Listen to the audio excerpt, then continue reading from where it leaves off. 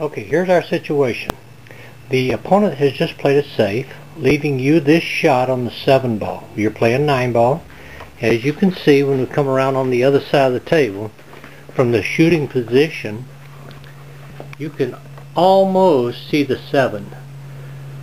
But you can just barely see a fraction of it. And if you try to cut that into the corner pocket, if you notice where the 7's lined up, and because you're only going to touch the left side of it, it's not going in the pocket, it's actually going directly into the right side rail.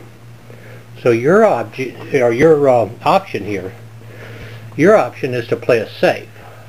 And you want to kick the cue ball against the rail here with high right.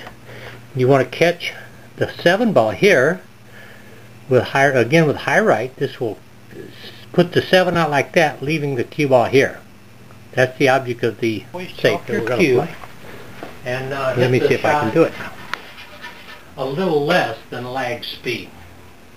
Level cue. Follow through.